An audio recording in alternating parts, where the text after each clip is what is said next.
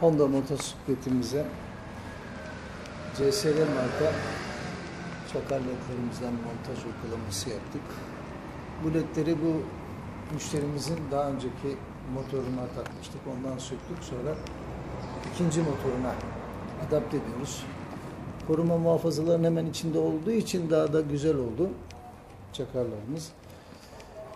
4 ledli çakar. Bu arkada da 6 ledli sepet altı çakar ledimizden var. Bu uçak modludur. Kontağı açtığım zaman sisleri hemen kontrol düğmesi var burada. Buna bir basıyorum.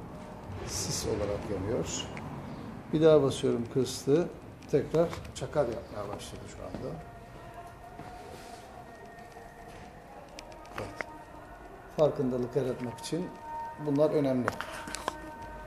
Motosikletleri insanlar çünkü görmezden geliyor. Buna da frene bastığımız zaman şöyle gösterebilecek miyim? Bakıyorum. Evet. Bastığım zaman direkt yanıyor ve durdu.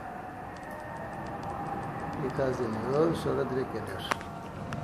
Frene bastığımız zaman da çalışma şekli bu şekil oluyor. Gayet güzel bir uygulama oldu. Diğer fasılaya bakalım. Bir daha bastım. Kapandı. Tekrar basıyorum. Sis. Normal bir sis farı. Hedef yok durumunda dağınık olarak bir ışık verir ama karanlıkta sis farı olarak da ihtiyacımızı karşılar. Bir daha basıyorum. Kıstı kendini. Tekrar basıyorum. Bir daha kıstı. Üç kademe. Sonra çakar moduna geçti.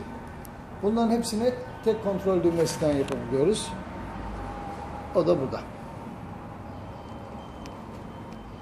Her modu da burada LED'de gösteriyor bize. Bir daha bastık kapattı.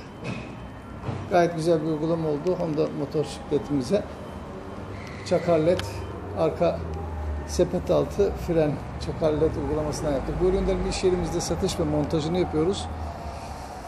Video altındaki iletişim bilgilerinden bizimle bağlantı kurabilirsiniz. İnternet üzerinden satışımız yoktur.